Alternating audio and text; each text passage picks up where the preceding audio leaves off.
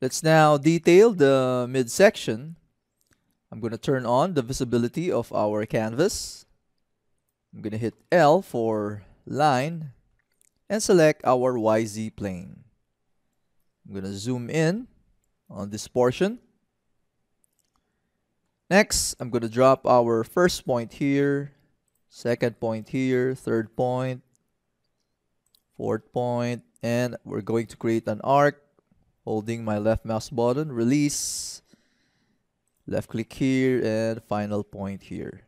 I'm going to hit escape, and I'm going to turn off canvas, zooming in once more. I'm going to grab coincident, selecting this point and this edge, this point, and this edge. Zooming out. Next, I'm going to hit D to grab our dimension. Going to select this horizontal edge and this horizontal line. I'm going to drop our dimension here and key in 13.5, hitting enter. Next, selecting this line, moving up, keying in 25, selecting this vertical line and this vertical line, dropping our dimension here and keying in 28. Next, selecting this horizontal line and this horizontal line, dropping our dimension here and keying in 5. Next, selecting this edge and our center point, dropping our dimension here and keying in 8.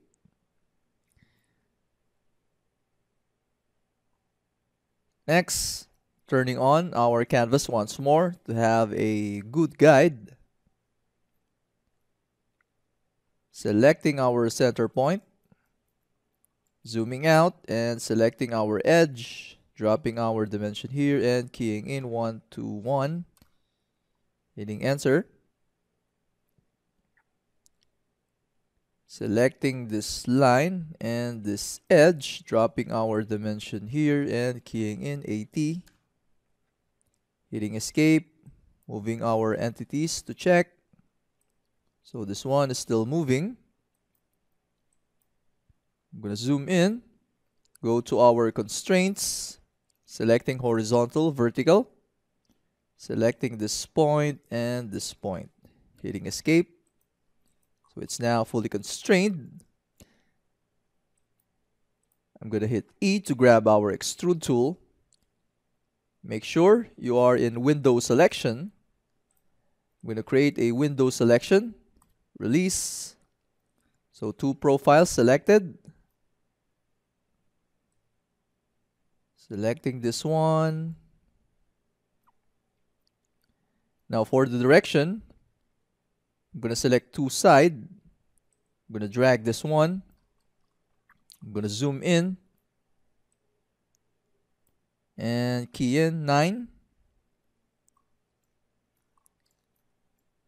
And for this one, this one should be all. So I guess it's safe to say 40. So hitting OK and turning off the visibility of our canvas. Looking good. And finally, hitting F to grab our fillet, zooming in, selecting this edge, and keying in 6 hitting OK.